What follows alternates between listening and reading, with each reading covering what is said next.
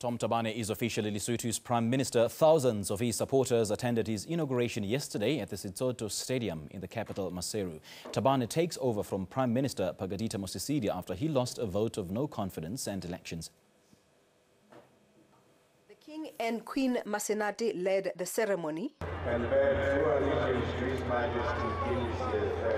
Mixed emotions from the new premier, whose second and estranged wife, Dipolelo, was shot to death two days before the inauguration, marked with a moment of silence in her memory. He commended the outgoing Prime Minister, Phakamisa Mosisili, for handing over peacefully.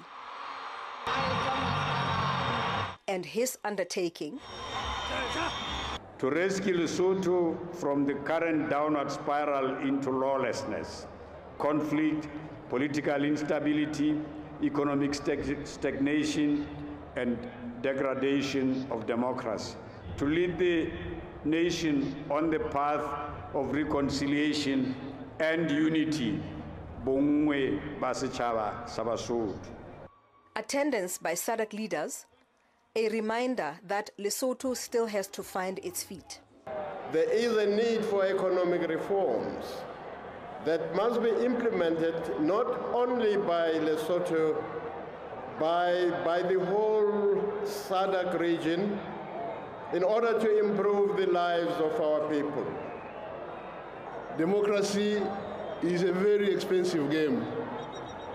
But I'll leave it up to you, the people of the Kingdom of Lesotho, to decide how best you can make the democracy a bit cheaper so that you can focus your resources on developing this country. The new cabinet is expected to take office next week.